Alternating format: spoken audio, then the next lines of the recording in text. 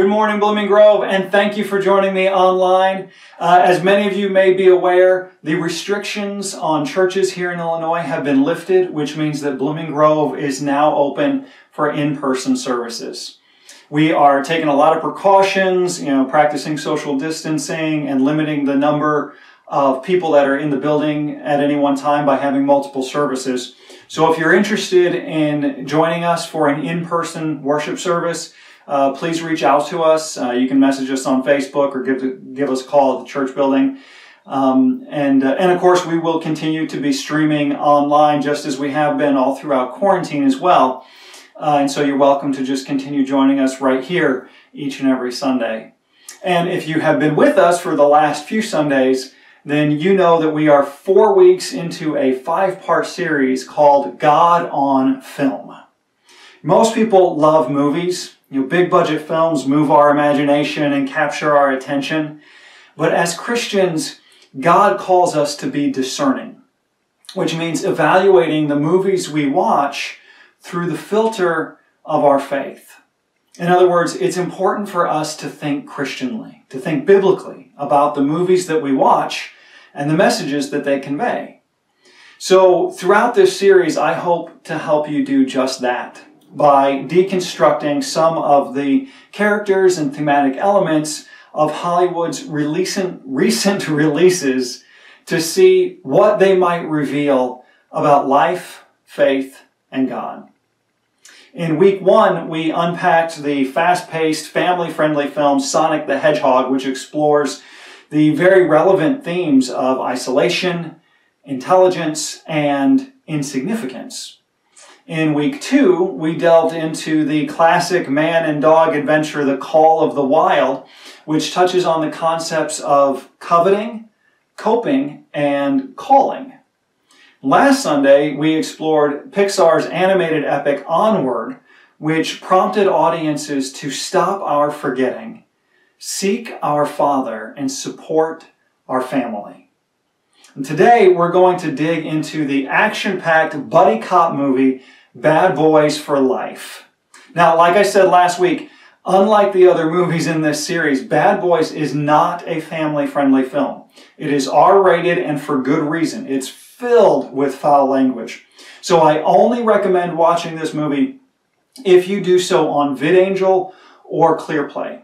VidAngel and ClearPlay are streaming services that connect with your existing Netflix or Amazon account and allow you to filter the movies and TV shows you watch uh, by removing uh, inappropriate content and language. It's like watching a, a, movie that's been edited for TV. So if you want to learn more about that, there's a, a link in the description. But with that disclaimer out of the way, let's go ahead and watch this trailer together. Mike, we got more time behind us than in front. Please. I'm gonna be running down criminals till I'm a hundred. Not me. I'm retired. It's time we be good men. This bad boy for life. Marcus, somebody's trying to kill me. Who wants to kill you? Who does put my name up there? We got it, Marcus. We appreciate it. But family is the only thing that matters. So I'm not letting you go on a suicide mission alone. That's what I like, teamwork. It's official. I survived what I've been through. Y'all got drama. The saga continues.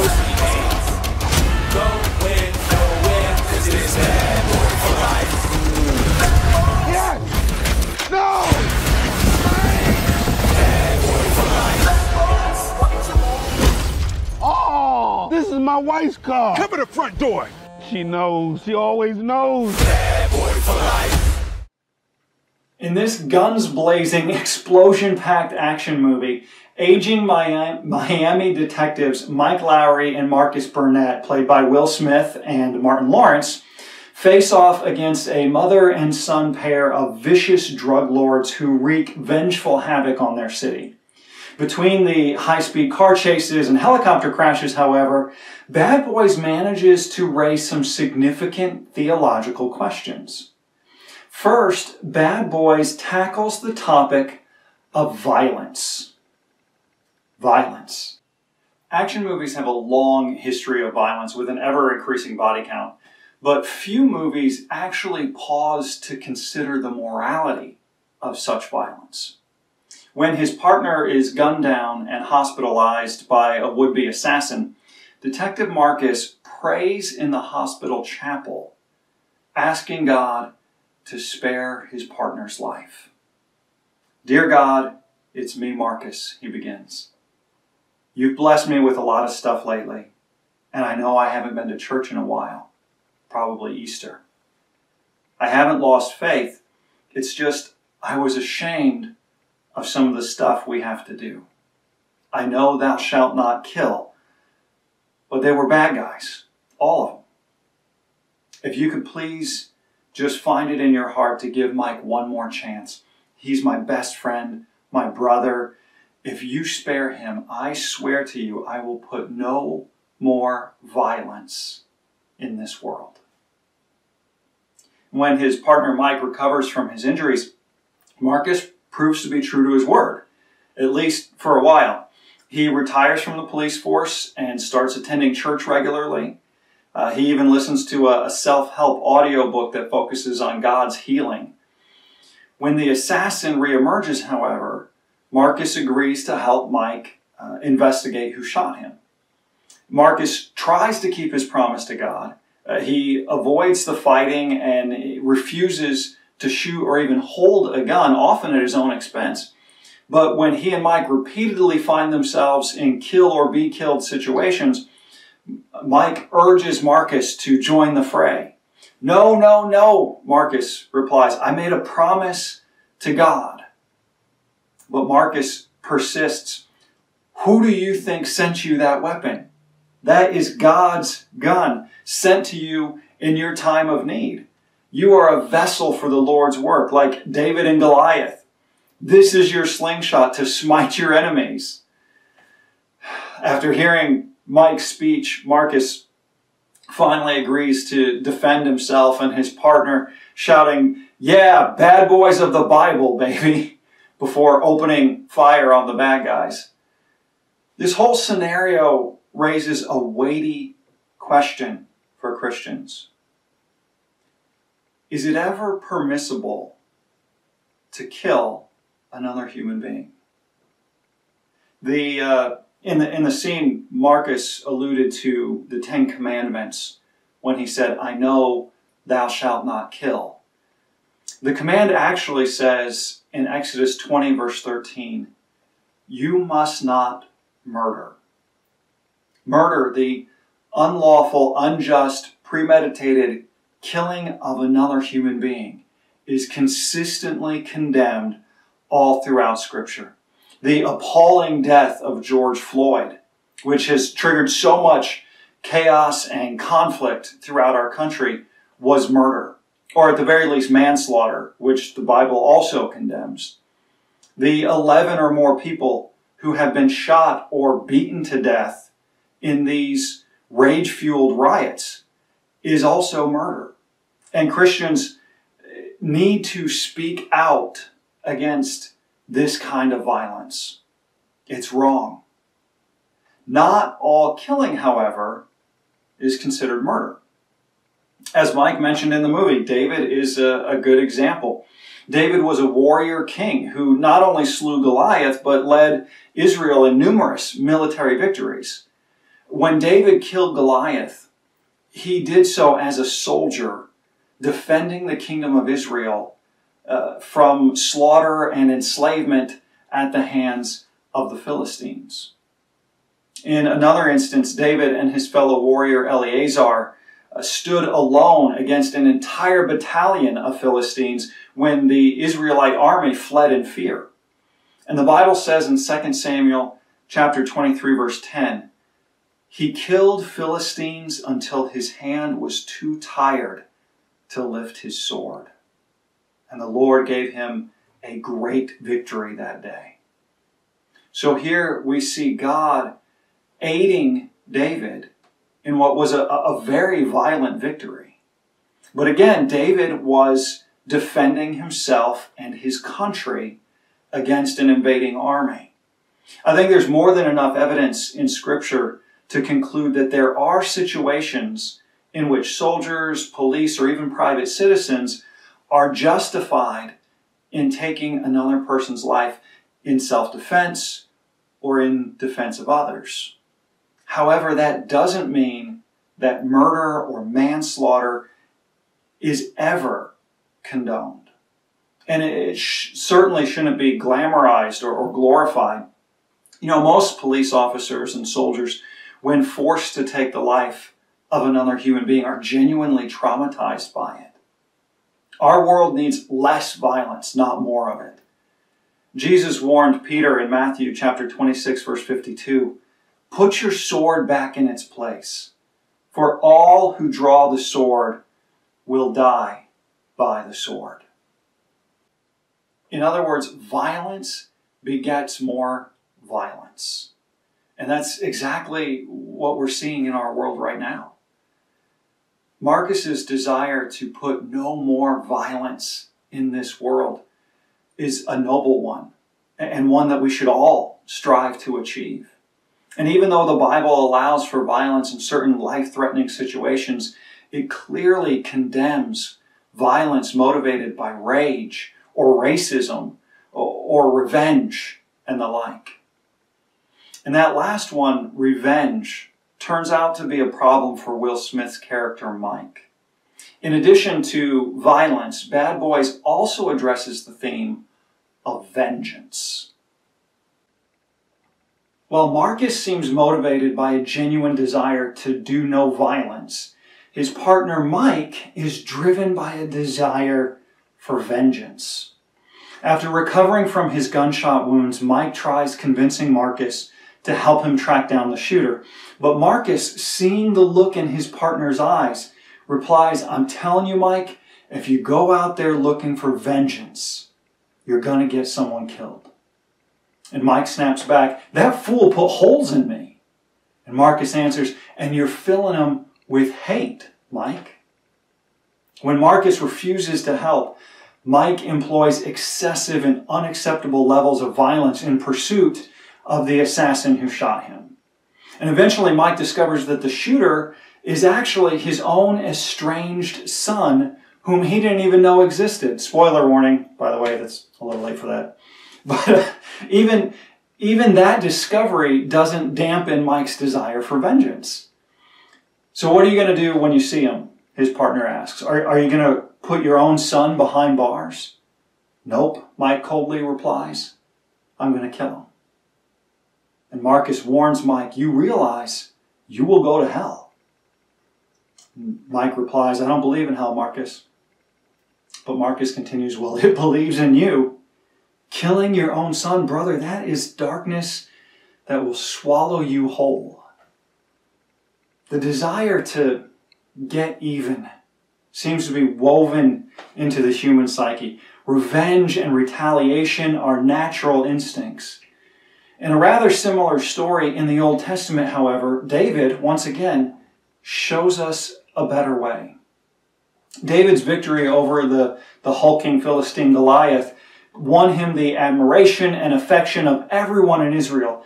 Everyone except, that is, King Saul. King Saul saw David's victory and, and valor as a threat to his throne. And so he tried repeatedly to kill David. But when given the opportunity to pay Saul back for all the harm that he had done, David chose a different path. He showed Saul mercy and spared his life. And then David announces in 1 Samuel chapter 24 verse 12, May the Lord judge between us. Perhaps the Lord will punish you for what you are trying to do to me, but I will never harm you. Rather than take revenge on his enemy, David put the matter into God's hands. We all have, you know, a Saul in our lives. It, it, might be an employer who unfairly fired you. It might be a spouse who abandoned you or parents who failed you. It could be a friend that betrayed you. Whatever the case, now you live in the backwash of mistreatment. You've been done wrong. And maybe you're just sitting around waiting for your opportunity to get even. Instead, do what David did. Trust God to be the judge. The Bible says in Romans chapter 12 verse 19, Never take your own revenge, beloved, but leave room for the wrath of God. For it is written, Vengeance is mine, I will repay, says the Lord. God occupies the only seat in heaven's Supreme Court. He wears the robe and refuses to share the gavel. Only God dispenses perfect justice and punishment. Vengeance is his job. So rather than punishing the people who cause you pain, leave your enemies in God's hands. And finally, in addition to violence and vengeance, Bad Boys also speaks to the subject of virtue. Marcus sums up a major theme of the movie when he tells Mike, hey, look, all our lives we've been bad boys, right? Now it's time for us to be good men. Mike just laughs it off, saying, Who would want to sing that song? He doesn't recognize the truthfulness of Marcus's words until the end of the movie when he finally lets go of his desire for vengeance and spares his son's life. More importantly, his son does the same. After their climactic confrontation, Mike's son Armando helps his father to rescue Marcus from certain death and then allows the two of them to arrest him peacefully. In the final scene, Mike visits his son in prison and asks, How you doing? And Armando answers, I'm paying my debt. And it's a big one. Even Armando, the villain of the story, in the end wasn't beyond redemption. He confessed his crimes and accepted his punishment. He and Mike both grow up in a sense. They stop living like bad boys and start acting more like good men. And Christians are similarly called to, to grow up. The apostle Paul, for instance, writes in 1 Corinthians chapter 13, verse 11, When I was a child, I talked like a child. I thought like a child. I reasoned like a child. When I became a man, I put away or put the ways of childhood behind me. So what's the difference between a bad boy and a good man in God's eyes? Well, again, the apostle Paul speaks to that quite a bit in the book of Colossians. First, he describes the bad behavior of the old self, as he calls it, in Colossians 3, verses 5 through 8. Put to death, therefore, whatever belongs to your earthly nature sexual immorality, impurity, lust, evil desires, and greed, which is idolatry. Because of these, the wrath of God is coming. You used to walk in these ways in the life you once lived, but now you must also rid yourself of all such things as these anger, rage, malice, slander, and filthy language from your lips. He then goes on to describe what we are to grow into. That's, that's what we're supposed to grow out of. And then he describes in the next section what we are supposed to become, the men and women we're supposed to be. He says in Colossians 3, verse 12 through 14, Therefore, as God's chosen people, holy and dearly loved, clothe yourselves with compassion, kindness, humility, gentleness, and patience. Bear with each other and forgive one another if any of you has a grievance against someone. Forgive as the Lord forgave you. And over all these virtues, put on love, which binds them all together in perfect unity. And there is nothing virtuous about immature, ungodly behavior, but compassion, kindness, humility, forgiveness, and love. These virtues are characteristic of good men and good women of God. And perhaps we could all do a little growing up still. As the, the culmination of a trilogy 25 years in the making, Bad Boys for Life is a bit of a, a cinematic surprise, at least for me. While the overabundance of profanity is certainly a strike against it, despite its shortcomings, Bad Boys for Life circles some significant theological issues and tends to land in the right place. Marcus's spiritual awakening reminds us that violence, even when justified in the, the line of duty, is, isn't something that we should glorify or glamorize. Mike's quest for vengeance serves as a, a, cautionary tale, reminding us never to seek revenge, but instead to, to leave our enemies in God's hands. And Marcus's desire to see his partner change from a bad boy to a good man reminds us that we all need to be more virtuous as we grow up in our faith and in Christ Jesus.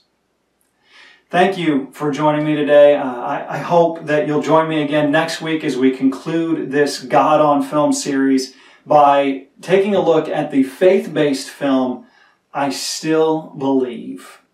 In the meantime, let's pray together. Lord, I praise you once again for revealing your truth in unlikely places.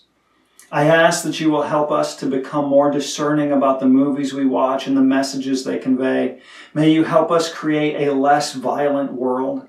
May we never seek vengeance against those who wrong us. And may we all be filled with your Spirit so that we can embody the virtues of goodness and godliness. May we pray in Jesus' holy name. Amen. Once again, you know, as always, if you have any prayer requests or praises, please feel free to leave those in the comments section or post them in our Facebook group. Um, if you'd like the opportunity to continue giving during quarantine, uh, there's a, a, link to our online giving in the description below. And if you are interested in joining us for in-person services, please reach out to us and let us know. Thanks again for watching. I'll see you next Sunday.